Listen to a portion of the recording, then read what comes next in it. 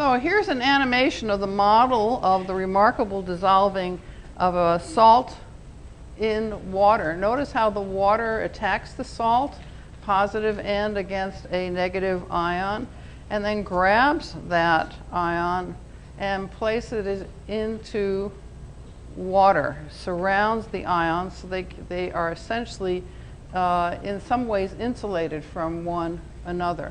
You need to keep this model in mind and if you are unable to get to the animation in the pre-lab, this is essentially what it's showing.